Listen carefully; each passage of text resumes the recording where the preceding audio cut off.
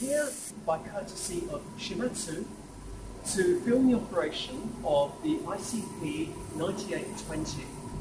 I would like to thank Tinoko who has allowed us to be here, thank you very much. And also to thank Joyce who's done so much work here to prepare these solutions. With me is Fuman on camera and Martin on camera um, and I think probably we can proceed. Right, this is the pretty much, not this, I, this actual piece of equipment, but this is the exactly the same model of equipment that you'll be using for experiment two in your analysis of salts. Um, the first thing probably is to walk through this equipment um, so we break it down into its different bits. So, over here is the autosampler. This is the part of the equipment where we load our samples and they are then measured uh, within the ICP. And we'll look at this in more detail later. Um, you may have a very slightly different model of autosampler, but the function is the same. The second part of this equipment is the computer system. It's actually really quite key. Without the computer system, this baby simply would not work. So we're going to look at some of the software, how you need to operate this to actually get your liquid concentration. And finally, the spectrometer, spectrometer itself. So in here, we'll open the door a little bit. Oh, we'll open the door now. Thank you. Okay. Remember, you have uh, already looked at the theory. You know that the uh, samples are pumped in and um, nebulized. In fact, that happens here. And pass through uh, the torch where there is uh, radio frequency which ignites the torch and it actually looks like a, a flame. Um, and that's the plasma. I won't talk about the theory now. You'll know that the light comes from uh, decomposition of excited states and it's those wavelengths of light which are given out emitted, hence emission spectroscopy, uh, that we use to get our heavy metal concentrations. Thank you. Okay, so we have three bits then, computer, ICP spectrometer, and autosampler. Okay, so your machine, your desktop will not maybe look exactly like this, but you will have this control box. So single click for analysis, and you should get a screen that comes up something like this. Now, the way this software is architected is all your controls are down the left-hand side. So, the first thing we will do is simply load the method for which you need to select the analysis icon there and single click. And what will come up, obviously at Shimadzu they have a series of methods. Um, Joyce very kindly has produced one for us which is Quant IEM2. So we will select that and we will open it and what that method is, is it contains all the settings, the equipment, the wavelengths which we're going to be analysing the metals at, and a whole load of other stuff that you, you need to be able to run this machine. Okay, more about that in a moment. Uh, at the moment, you can see that the plasma is not on. There is a, a degree of warm-up time. So again, control to the left-hand side, we turn the plasma on, and we have a little menu box here, and we press start. Okay, you maybe didn't hear that, there was a double click noise, and suddenly we have a, a blue light there. Um, we need to leave this for a while now. Um, we'll continue in a moment. This will probably take maybe 10 minutes. I think less than that. But certainly not more than 10 minutes. And you can see now it's waiting but not yet ready. Meanwhile, we should look over here. The blue LED we pointed to previously is now green. This tells you that the effectively the, the plasma side is running. And if we look in this window, you can now see what appears to be the uh, a flame, which is the plasma torch. Um, and again, if any of these conditions are not like this, then you need to be talking to a technician in charge or um, one of the staff in the lab. Okay, so you can see there are various things that plasma on sequence has completed. What I can do is now click the OK box there. All of that now disappears, but we still have the waiting not ready, so it takes um, a while. As I say, not more than 10 minutes, uh, but we need to wait for this before we do the next part of the analysis. Whilst we're waiting, um, something which uh, I've just been uh, reminded of, which is really useful, is that there is a water cooling unit by the side of this equipment, and what that's doing is it's cooling the CCD detector, the thing which detects the light from the plasma. Now, the, one of the reasons we're still waiting and not ready is this CCD temperature here has to be at minus 15 before the system is ready to run. So that's one of the reasons that we are uh, waiting for this. Right. Effectively, because we are doing reasonably low level measurements, um, this is a, a quantitative piece of kit, we need to have good stability before we do the measurements. Now, usually you'll be waiting about 30 minutes before the system is fully stable and able to measure at low concentrations. What this means is the first thing you'll do when you come into the lab is turn this equipment on and put the plasma on. That way, uh, while you're then preparing samples, um, the detector can cool and the system can reach stability. Okay, so the first thing we need to do now the equipment is running um, is to click instrument calibration and you should see a box like this coming up. Now Probably this needs to be done just once a day at the beginning of the day when you're starting.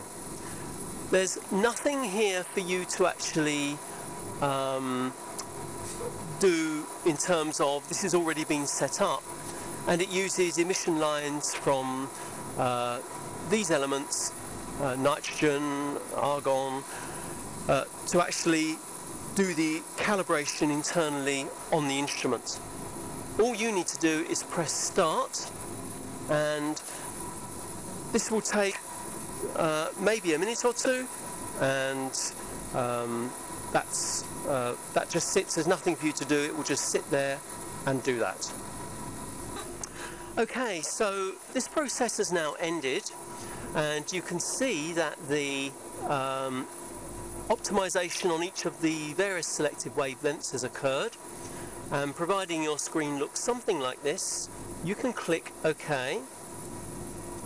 Uh, it now asks you, do you want to replace the existing calibration with this new one, effectively? And so, of course, you need to answer yes. Next, you want to perform a qualitative database calibration. The answer is no, because hopefully we're being quantitative. Okay, so we end up with a screen that looks like this. Okay guys, the next step is to actually tell the software what's going on with the autosampler.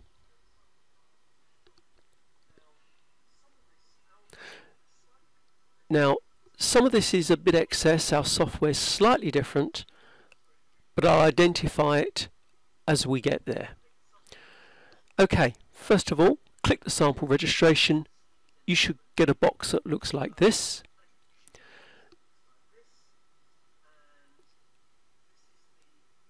And you can see this is the standard initialization sequence. You'll have more than four standards, but there are just four standards in here.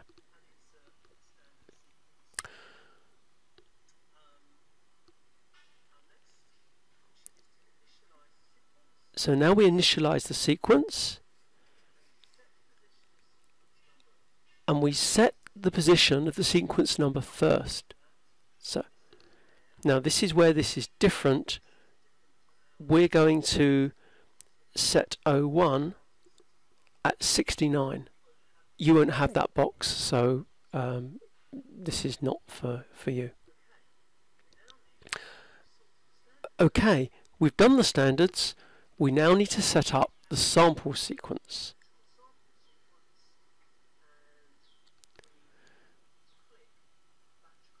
So you click here batch create and you get a box. Okay, we only have one sample for this demonstration but of course you will have quite a, a lot. So we select the start position at number five. And I think then we'll click OK.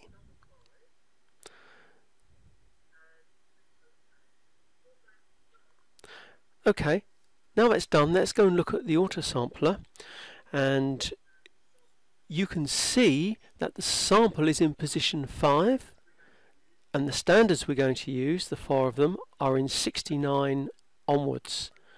So the system knows where to take the samples and standards from when it runs its program. So effectively the programming is now consistent with the autosampler. Now your autosampler is a bit different but nonetheless this is what we're doing the demonstration on. Okay and we've loaded up the samples, we've loaded up the standards and we're ready to go.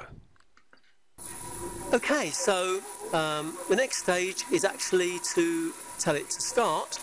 So what we will do is we will, we're using an auto sampler, so we'll click continuous measurement and we'll click automatically shut off plasma after it's finished the run. We're all now sorted. Down here you can see the um, system information. All we need to do is press start uh, thank you. And it then is telling us that it is remaining time for measurement 10 minutes. Okay, we're going to get a cup of tea while this is doing that. See you in a minute. Whilst myself and my colleagues are in the tea room, part of me is here watching the screen to see what happens. Now, as we watch, you'll see empty calibration frames and a calibration table appearing on the right of the screen. Um, remember we had four standards, there's only one point there at the moment. Now, as you watch, what we've done is we've speeded up the film, so what takes about nine minutes is going to take about less than one. As you watch, you'll see the frames gradually populate with the other four standards, the other data points. Um, that's happening now and the calibration table is uh, firming up. You'll see by the way on the right hand side at the top that various things are changing, various processes are occurring. And then finally, whilst we're still having our cup of tea, the machine reaches the end of its program and begins its shutdown process which will end with the right, the red bars on the right hand side. Okay, I can hear them coming back. I have to go. Right, guys, we're back again, and uh, we should just look at the equipment. You can see that the uh, light here is blue, remember we clicked the automatically turn off the plasma so that all of the samples and the standards have been analysed and now let's look at the results. So your screen will look something like, like this. Up here are your calibration curves for each uh, element and if we just double click you can see here that you then have the equation of the line with the uh, you have the various coefficients here. Uh, note the r squared values. Lots of nines in there. Always good news. And it means there are very few deviations from the line. Okay. The next part what we have to do is if we're happy with the data, we're happy with the calibration curves, we can then get the actual results. Now, we click down there. In this case, we only had one sample and the results here in micrograms per litre, which is ppb, of the elements we analysed for, which were zinc, lead, manganese, copper and cadmium, are as here. Now your sample table will be much bigger as you'll have very many samples and uh, therefore uh, that will be larger. Okay, so uh, although the system here in this lab is different from the one in our lab, nonetheless you still have to save the data. So um, before we do anything else we need to click the save button and this is a different folder to the one you will use, but uh, the guys here have very kindly set up an NUS folder, and the way we'd like you to save your data in terms of a file name is the date, which today is 8th of August, 5th of August, 215 0805, your name, I'll put my name, um, that should be fine and then save it and it will save it as a, a specific file that can be read by this system. Okay, so the first thing we need you to do is save it in that native format to this package. But you won't be able to use that. That's simply a record that we can go back to if we need that data. Um, if you then click File, and click package export. And then choose there are a number of options here choose comma separated CSV it'll stick with the same name and save that as well. It will save that in the same location and then there'll be two files there which means for your logbooks you can take that CSV file and read it using Excel. Anyway it remains simply to uh, turn off the system here. Or turning off is not quite the right word but actually just downing the software. We're leaving the ICP as is. So we will stroke it nicely and say thank you very much. And we will thank you guys for allowing us to be here. And uh, we're done. Thank you